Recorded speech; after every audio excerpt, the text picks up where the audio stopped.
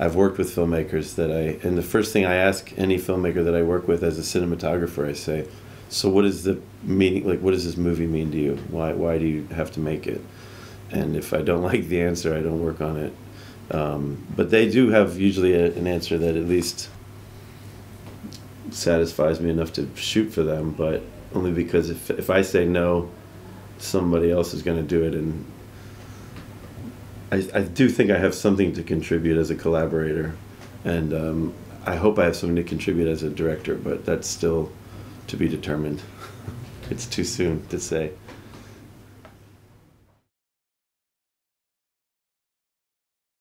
I think I was 12 or 13 when I saw on. I, I would watch on public television late at night.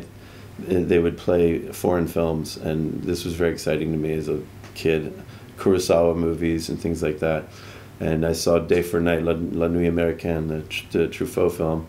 And uh, there's a moment with Jacqueline Bisset where she turns and looks maybe directly into the camera. I don't know. I think it's a little bit incorrect in my head, but I felt like she looked at me and uh, and I just it was another level of of um, appreciating cinema. And I was you know pubescent boy, so there was that. There was the beautiful woman, and where I grew up there's not very many beautiful people, and uh, so that encouraged me to watch more European movies. And and then I decided, yeah, wow, I would must be cool to make movies, but it didn't seem possible where I where I grew up that I could do that, but.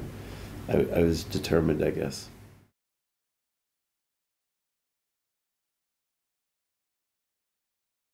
No, I mean he was for us, and he should be. Uh, um, you know, people are comfortable crediting with him with uh, at least in America. I know the French invented cinema, Americans invented cinema. Everybody has their version of of uh, the origins and the origins of film grammar. Um, but I mean, I think you can't dispute Griffith's contributions to film grammar. He was developing uh, a lot of a lot of incredible like uh, visual storytelling effects, um, special effects. Even uh, there's a movie he did called The Avenging Conscience. That's uh, it's kind of a horror movie. and It's extremely dazzling. This the way that Murnau films are, and uh, yeah, and but he's just he's he's his reputation is is uh, compromised by the you know the the the history the, you know the con the con you know we know what it is you know it's birth of a nation it's it's his representations of of all color people of color and all these things that uh, we all get hung up on so much now. And, and you know it's it's right to recognize these things but also understand the time and also you know but this is a terrible conversation for me to be a part of because i'm not going to ever win. But i just i think it's important to see the films for the filmmaking again because we're getting very far away from being uh, very crafty. These films that are i see now are the only inventions in films now are all purely computer and digital um, in, intrusions in my opinion the last thing i did in the edit was uh, we put in a scene that had been cut out. I, I, I, in my sleep, I said we need to put in the scene where Rish and, Ta- and Talia, the scene with Mohammed and Lillian at the end when they walk through the forest, and they come to the this, and they become a, they're in a painting. That scene we'd cut out because we thought it was that the movie was too too slow at that point. And then I, I said, I said no, we have to put it back in, and uh, and we did, and that was a that was an important decision. I'm glad I did that because it was the problem was I was we were starting to listen to too many other people, and they're saying you know oh it's it's a little slow it's a little slow. For speed and and I know I'm I'm comfortable with it and I, I, I you know maybe I'm good at it in a way. Um, when I see really good handheld camera, it's uh, it's very exciting to me. You know, there's there's Polish cinematographers and, and Russian ones that uh, can what they could do with handheld camera. Japanese guys in the '70s. Yeah, yeah, yeah. Of course, of course. So that's like, yeah, they became really after '60s, you know, documentaries and Frederick Wiseman. Then it's Dardenne for hand. They like own the handheld brand almost. Um, yeah, it's true. It's true. Yeah, I watched that again recently, just the beginning. Yeah, that was the first day of shooting too on that film.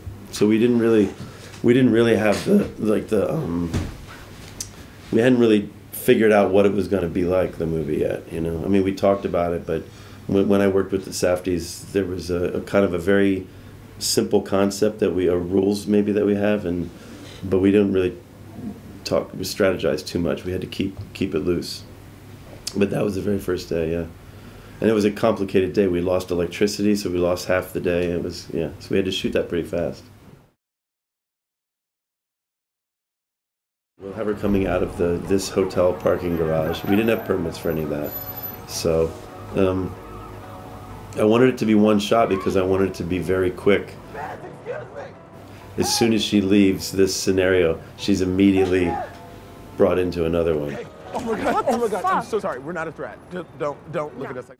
I, I do use a polarizer, uh, a polarizer always when I'm outside, and then with black skin, you can kind of choose where there might be reflection or glare or color. You can, it's like a whole different thing on black skin. It's really beautiful. Oh, one other thing. Uh, I actually edited edited that scene myself first. That when I, I originally thought I was going to edit the whole film, and that scene I edited it, and uh, I, we changed it a little bit later. But basically, I, I that's one of my scenes in the film. Choose the white. Yeah, thanks.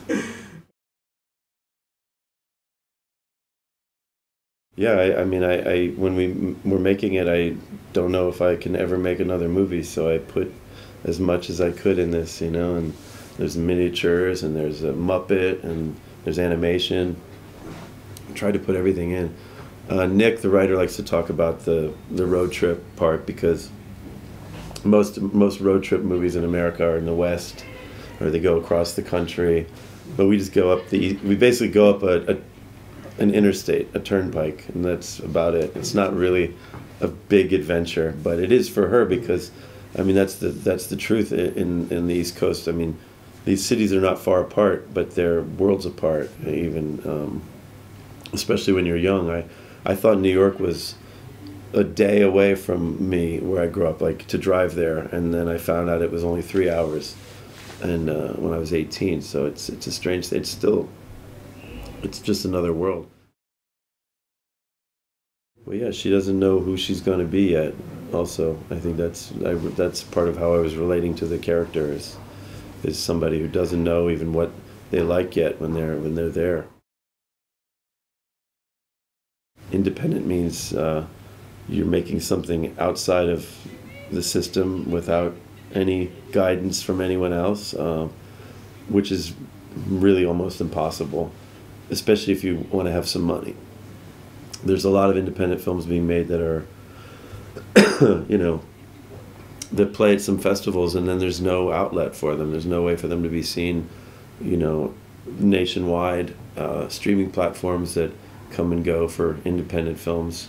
Uh, they, I mean, they all fail. I don't think people see independent films in America anywhere. I mean, I think in festivals outside of America, you're more likely to see independent films than anybody in America does now.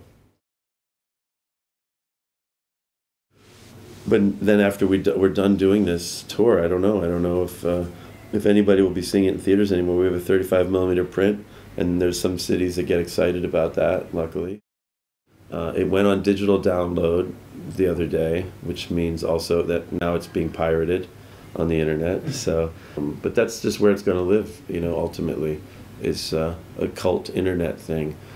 It's too bad. I love the idea of, of um, you know, in the, in the 70s and 80s, there was the university tour where cult films would go and, you know, John Waters films and David Lynch and, you know, their movies would play at universities across America. And that was a, that was a real source of income. But, yeah, I don't know. I think, I think one thing, I, I do think that some young entrepreneur uh, artistic person is going to uh, find a way for a more uh, democratic um, existence of films, you know, for people, distribution wise. Yeah. Okay. Thank you. Thanks.